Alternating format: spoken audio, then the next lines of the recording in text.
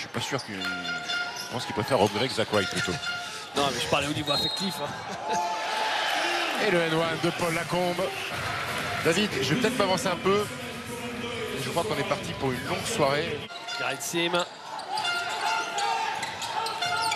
Gareth Sim. Ulmer à 3 points. Voilà un panier qui fait beaucoup de bien. Robinson à 3 points. Court.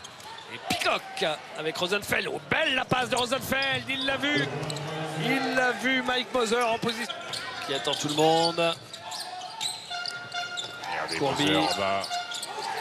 Le shot de Gareth Sim. A mis un soir de, de March Madness de planter 30. Dibost. Dibost. Oh, la vitesse de Dibost. Oh, magnifique, magnifique ce qu'a fait Dibost. Et là, derrière, c'est cadeau pour Buckner. ça qui a essayé deux, trois fois d'enfoncer. Il a vu que c'était pas possible. Oh, là là! Oh là là là là là Le hoop fantastique pour Eric Buckner. Regardez, à une main. C'est le spécial hein. d'enfiler les perles. 12 points pour lui, meilleur marqueur de la rencontre. Waouh, waouh, waouh, waouh, waouh, waouh, waouh, l'interception de Gerald Robinson. Oh. Ah, il s'est pas longtemps interrogé. Puis après, bah, il y avait beaucoup, beaucoup de rotation. Donc euh, il jouait peu. C'est pour ça qu'il était parti jouer à Bourg-en-Bresse. Et voilà, encore un panier d'Eric Butler qui est à 7 sur 7. Par contre, Du simple double et même un peu plus que ça.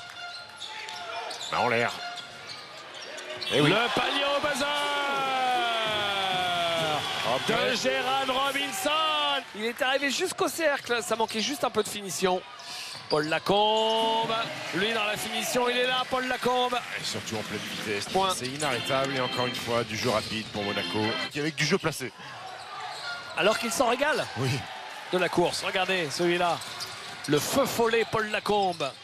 Bien la passe, jolie pour Dibost. Euh, servi par Gérard Robinson. C'est simple, il y avait 9 rebonds offensifs à 5 pour Bourg-en-Bresse à la mi-temps, David. On est à 12-9 pour Monaco. Et le alley-oop pour Eric Buckner. Et en plus, cette année, euh, avec la longue absence d'Alexei Schwed, il a longtemps été dans le 5 de départ. Il a, il a vraiment joué des, des- des- des matchs complets, 20, 20, 22 minutes. Mais ça lui a pas suffi. Il préfère être euh, le boss. Robinson.